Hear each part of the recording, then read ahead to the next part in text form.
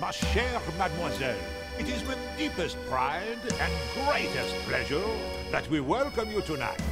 And now, we invite you to relax. Let us pull up a chair as the dining room proudly presents your dinner.